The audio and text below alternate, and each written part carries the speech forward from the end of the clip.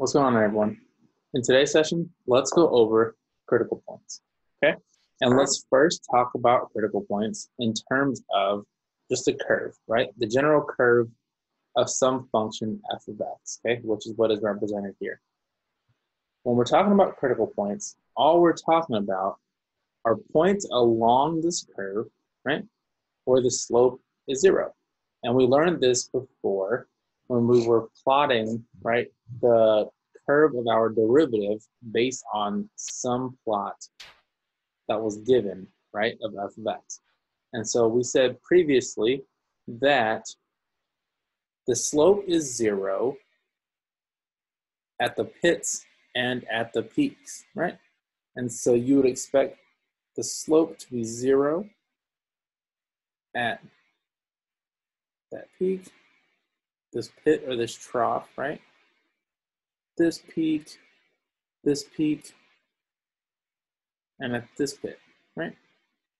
So at all of these points, we know that the slope is going to be zero because the slope, right, represented by m, is can be thought of as the rise over the run, okay, in terms of the tangent line at those points. And so if we were to drop a tangent line at those points, right, this is what those tangent lines look like. They'd be perfectly horizontal, right, if my picture was perfect. So the tangent lines at all these points are the same. They're just horizontal lines. And so at this point, you can think of it as calculating your slope, right? At these points is calculating the rise over run of these tangent lines. And since they are horizontal, they might have some small amount of run, right, or change in the horizontal direction, right? If you think about it like this. But when you look at the rise term, right, there's no vertical change. There's no change in the y direction. And so this would go to zero, meaning that your slope would be zero at all of these points. And so when you're trying to find your critical points, right, all you're doing is finding points of your function where the slope is equal to zero. And we know that the slope based on a function f of x can also be defined by the derivative of that function, okay? And so let's say now I give you a function, right, a math equation, um, 6x squared plus um, 3, okay? So let's just do this one, okay? So if I were to give you this function and I wanted to ask you for the critical points? So find critical points based on this function. All you're trying to do based on this function is find where the slope is equal to zero right? And we said the slope can also be thought of as the derivative of your function f of x. And so all we're doing here is we're trying to, find the derivative of x, set it equal to zero, right? That's your first step. Your second step is going to be solving for x. So let's try that with this example, okay? So step one, the derivative of your function right, is just the derivative of this entire right side.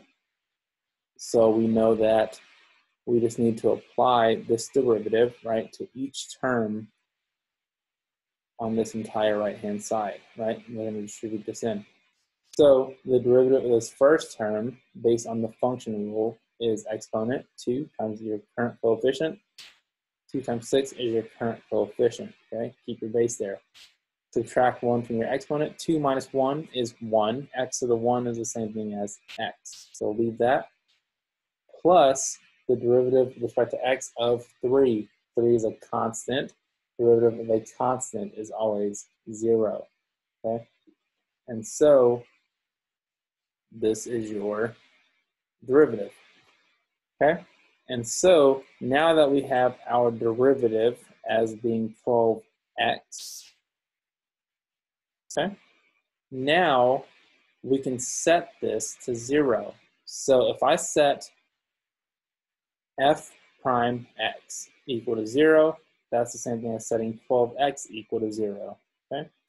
So if you set 12x equal to zero and solve for x, you're gonna find that x is equal to zero.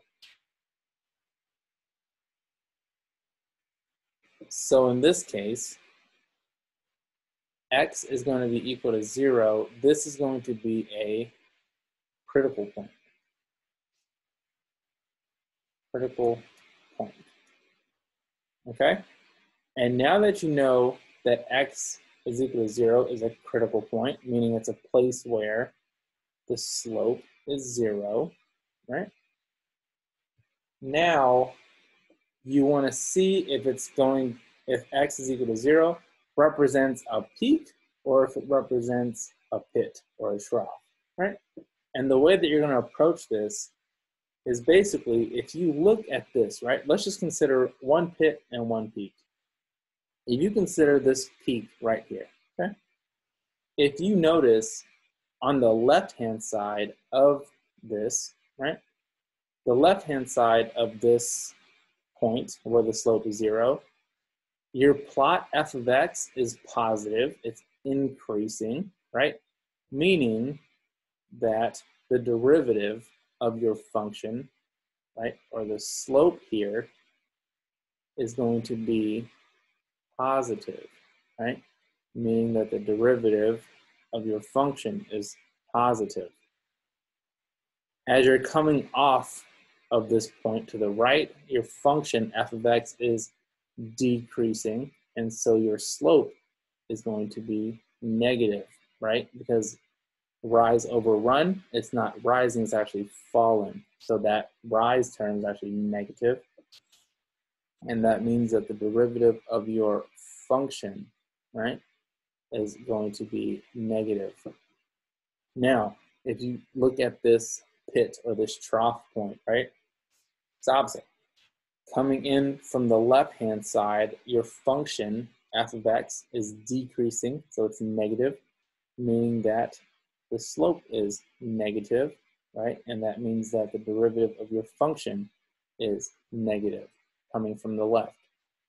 As you're coming off of this point to the right, your function is now increasing, meaning that the slope is positive, right? Rise over run is actually rising.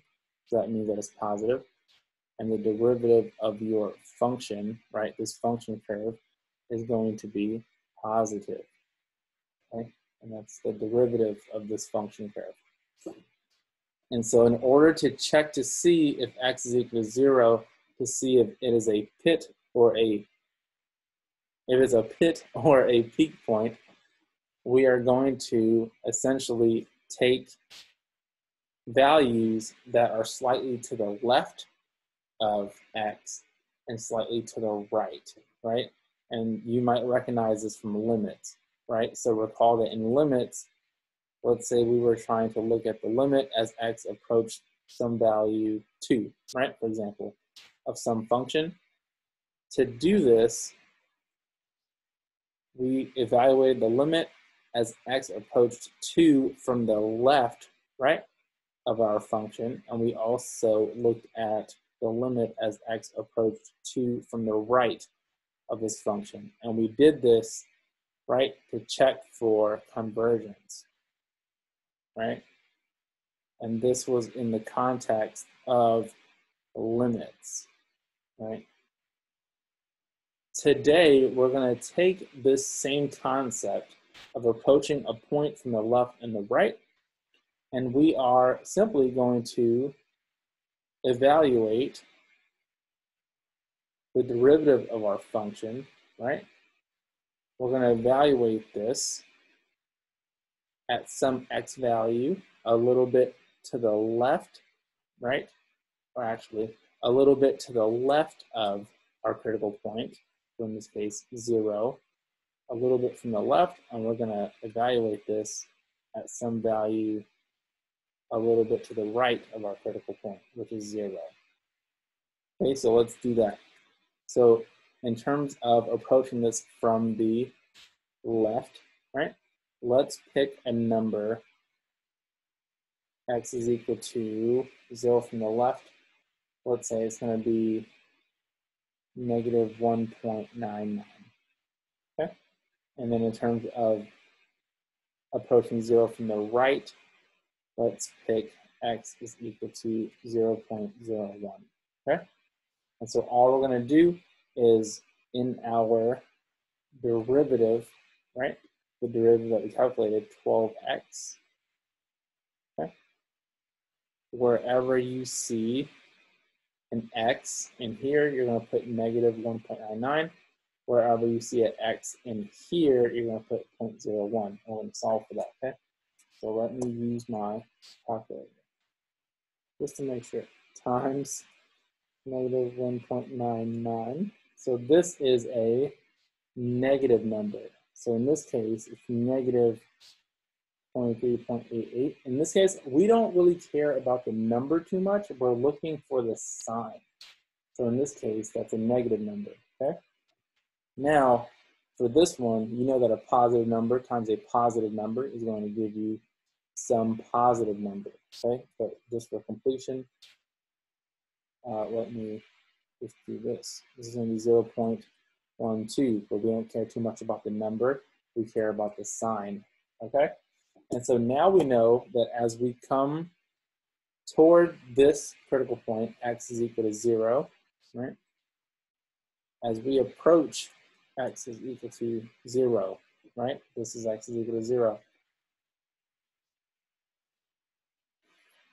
As we're coming from the left, right, and this is a critical point, so I'm gonna put this point here. As we're coming from the left, the slope is negative, right? The slope is negative, meaning that the derivative of your function is negative, right? So you're gonna come in decreasing, and as you're coming off of this point, right, the derivative evaluated slightly to the right of your critical point, you found this to be positive, meaning that the slope, right, the slope is positive, meaning that the derivative of your function is positive, right, the rate of change, right? And so it's going to be positive. So over here, slope is positive, derivative of your function, positive. Opposite over here, slope is negative. The derivative of your function is negative. So because you have this, right, you know that this is going to be a minimum point or a minima, right? Or how we like to call it, a pit or a trough. Okay? And so uh, that's how you evaluate your critical point, right?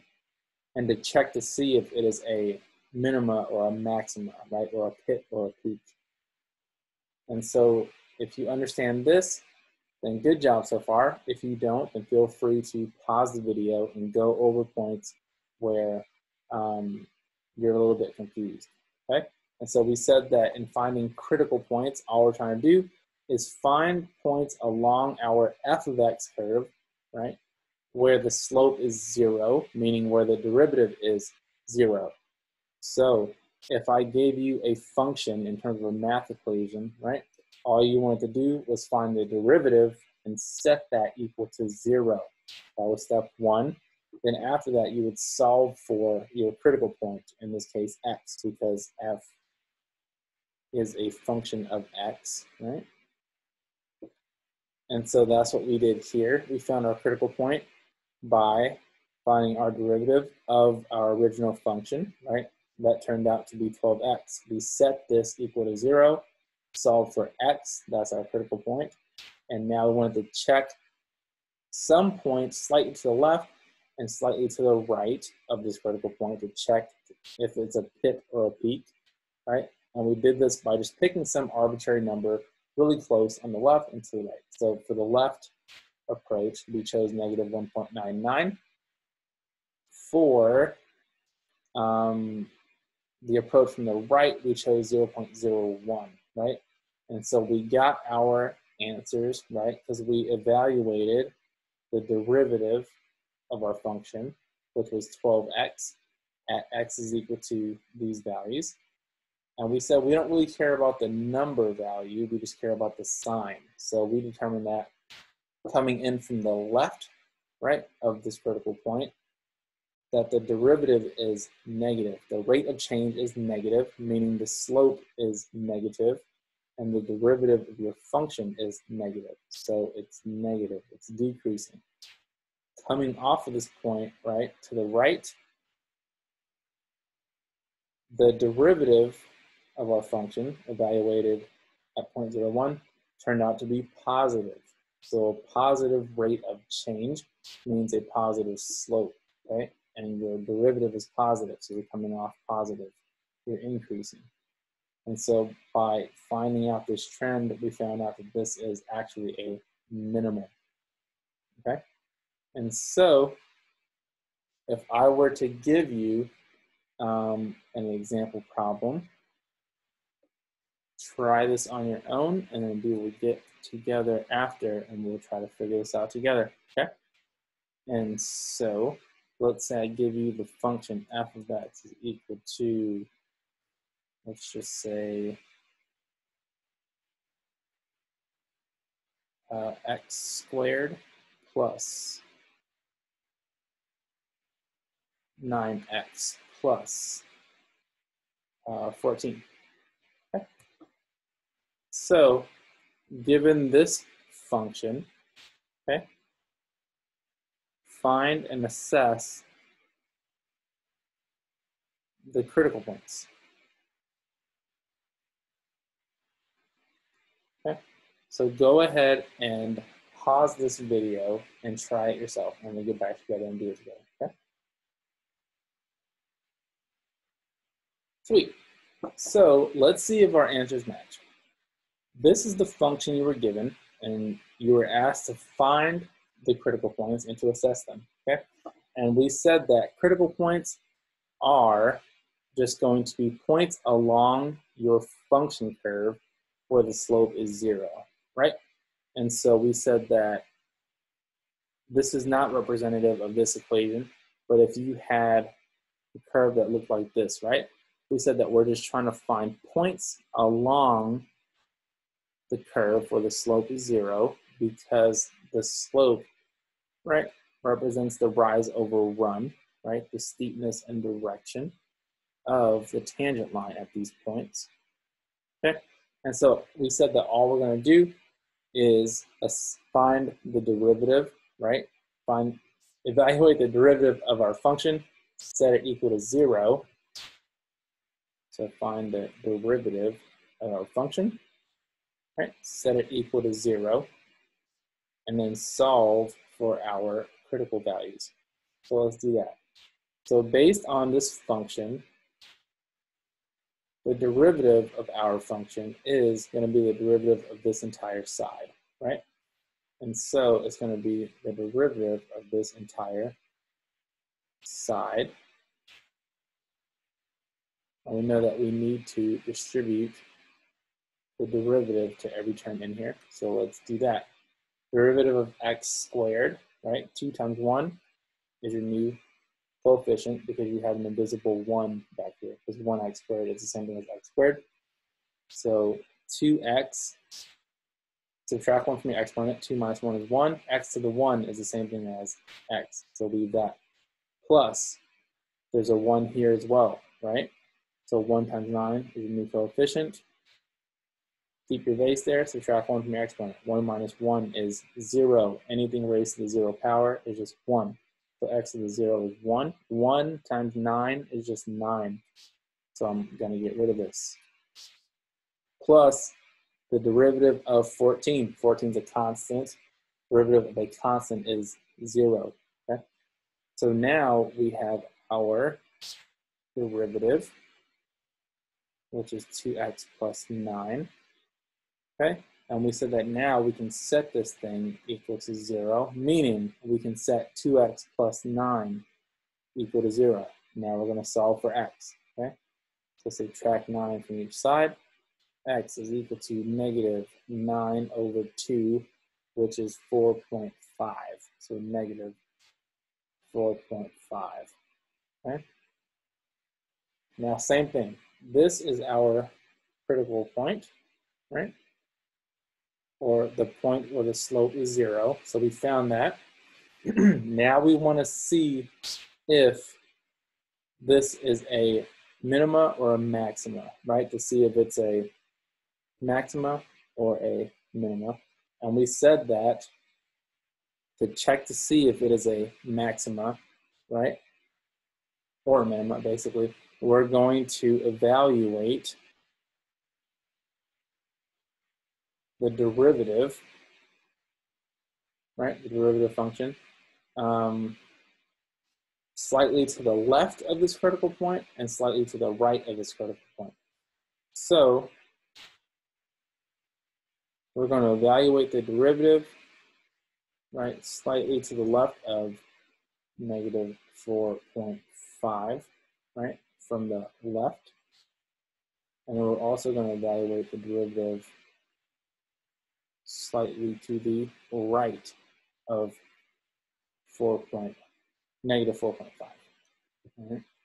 And so let's choose some numbers here. So um, let's evaluate at negative 4.51. To the left and then to the right, let's evaluate at negative 4.49. Okay. And remember, all we care about really is the sign, negative or positive, um, of what we're getting. So let's do that. So let's do this one first. Okay. So 2 times, and then remember that this is what we are calculating, right? So in this case, sorry about that. Wherever you see x, right, in here, for this one, plug in negative 4.51. And then for this bottom one, wherever you see x in here, plug in negative 4.49. Okay. So 2 times negative 4.51. This ends up being a negative number, right? Now let's try this one. Times negative 4.49 plus 9. This ends up being a positive number. So we have determined that, right? This is our x-axis. This is our critical point at x is equal to negative 4.5, right? Since it's a critical point, I'll put a point there. And so we said coming in from the left, right? Approaching this point from the left, the rate of change, the derivative, is negative, right? It's negative. Meaning that the slope is negative here, right? Because rise over run, it's not rising, it's actually falling. And the derivative is negative. Coming off of this point to the right, right? The rate of change, the derivative is positive. So the rate of change, the rate of change is positive, meaning the slope is positive, right? Rise over run is actually rising. It's going up. And so because of this trend, we can determine that this critical point is a minima point. Okay? So if this is um, what you got, and great job. Um, if you made a mistake or if you're a little bit unclear, go ahead and just go back um, and feel free to just work back to the problem. Okay? And then maybe try the example that we did first and this example on your own. You feel comfortable with it. Okay? So if there's any questions uh, or comments, feel free to leave them below and I'll get back to you as soon as possible. Okay? This um, was finding critical points and assessing them.